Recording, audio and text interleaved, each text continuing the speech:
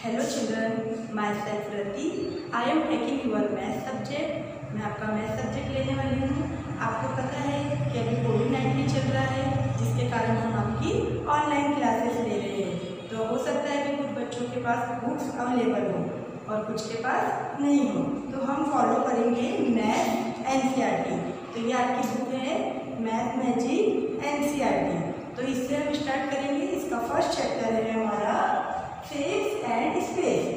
Chapter number one है हमारा shapes and space तो सेक्स का मीनिंग आपको पता है, जैसे डिफरेंट डिफरेंट टाइप के सेक्स होते हैं सर्कल रेक्टेंगल ये सब सेक्स होते हैं। और स्पेस का मीनिंग होता है जगह। तो इस इस चैप्टर में हम ये पढ़ने वाले हैं। ओके तो हमारा इसमें फ़र्स्ट टॉपिक है इनसाइड एंड आउटसाइड तो what is the meaning of inside inside का क्या मीनिंग होता है? इनसाइड का मीनिंग होता है अंदर के साइड आउटसाइड का मीनिंग होता है, बाहर के साइड अभी आप घर में हो तो आप घर के अंदर ही आप घर के इनसाइड हो। और आप घर के बाहर जाते हो तो आप क्या हो, घर के आउटसाइड बाहर के साइड हो। तो इनसाइड एंड आउटसाइड को समझने के लिए आपकी बुक में छोटी सी स्टोरी दी हुई है। अगर आपके पास बुक हो तो आप बुक ओपन करके रख सकते हो, उसमें देख सकते हो। अगर आपके पास बुक ना हो तो आप इस स्टोरी को ध्यान से सुनिए। ओके हमारी स्टार्ट करते story the Arab and his camel ये स्टोरी किसकी है? अरब अरब कंट्री का जो पर्सन है, उसकी है और उसके कैमल की है। तो the Arab and his camel it was a cold winter day अरब और उसका कैमल होता है और एक दिन बहुत ठंड भरा दिन होता है। The was Arab travelling on the camel back तो क्या होता है जो अरब होता है वो अपने कैमल के बैग के ऊपर बैठ के जो ट्रैवलिंग मीन्स यात्रा करता है, जाता है। At night the Arab pitch his tent एक दिन क्या होता है? वो अपना एक जगह पे टेंट लगा लेता है एंड वेंट इनसाइड और टेंट के अंदर वो चला जाता है। द कैमल वॉज़ आउटसाइड और कैमल क्या होता है? उस टेंट के बाहर साइड बैठा होता है। फिर क्या होता है उसमें?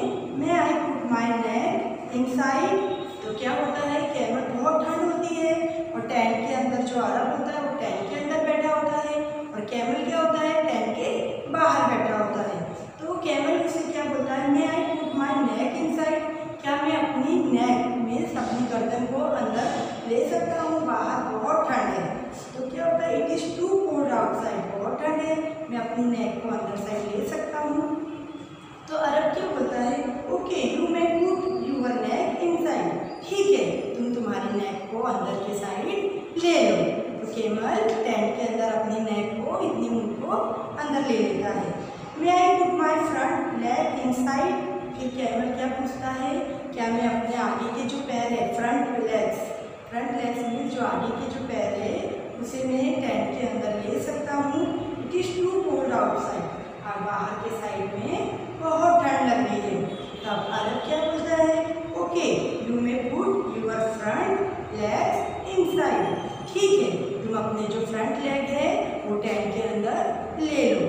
अब फिर आगे क्या बोलता है? देखिए कैन आई कम इनसाइड क्या मैं अंदर आ सकता हूँ?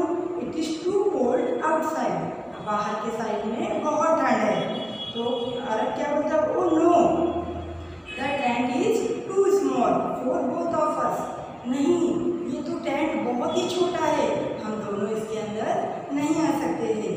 तो क्या बोलता है फिर अरब? So I am coming inside and you go outside camel बोलता है तो ऐसा करते हैं कि मैं टेंट के अंदर आ जाता हूँ और तुम बाहर आ जाओ तो क्या होता है कि ऐसा करते करते कैमल टेंट के इनसाइड यानी अंदर के साइड हो जाता है और अरब जो होता है वो आउटसाइड यानी बाहर चला जाता है तो आपको इस स्टोरी से पता चल गया कि what is inside and outside inside means अंदर के साइड और आउटसाइड मीन्स बाहर के साइड यहाँ पे देखिए मैंने एक एग्ज़ाम्पल लिया है, जिससे मैं आपको इनसाइड और आउटसाइड समझाऊँगी ये टोकरी है टोकरी पता है जिसमें हम फ्रूट वगैरह कुछ भी रखते हैं वो है टोकरी ठीक है यहाँ पे और ये है एप्पल एप्पल दिए हुए हैं अभी एप्पल कहाँ है इसके बाहर है मीन्स इसमें आउटसाइड है अगर मैं एप्पल को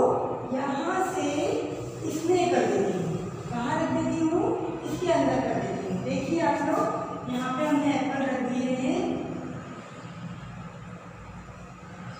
ये हमारे हैं दोनों एप्पल यहाँ पे हमारे आ गए ठीक है तो अब एप्पल आउटसाइड थे अब कहाँ चले गए हमारे एप्पल इनसाइड तो आपको पता चल गया what is the inside and outside बाहर है तो आउटसाइड और जो अंदर चला गया तो इनसाइड हमारे एप्पल इसमें इनसाइड है ओके, अब हमारा सेकेंड टॉपिक है इसमें, इसी चैप्टर में bigger and smaller bigger and smaller big means होता है बड़ा और स्मॉल मीन्स होता है छोटा।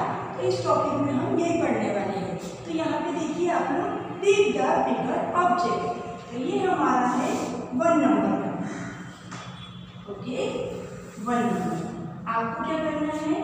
पिक द बिगर ऑब्जेक्ट जो ऑब्जेक्ट यानी जो भी जो यहाँ पे पिक्चर दी हुई है, इसमें से जो बिग बिग मीन्स बड़ी होगी। उसके ऊपर आपको क्या करना है? राइट टिक करना है। तो देखिए यहाँ पे लिप्स बनी हुई है। तो इसमें लिप्स में आपको पता चल रहा है कि कौन सी की है। ये वाली लिप्स क्या है? ये बिग है। तो हम इसको क्या कर देंगे? राइट सेकेंड ऑब्जेक्ट देखिए यहाँ पे। हमने यहाँ पे क्या ड्रॉ की हुई है? पेंसिल ये ये भी एक पेंसिल है और ये भी एक पेंसिल है तो यहाँ पे जो पेंसिल होगी। हमें क्या देखना है?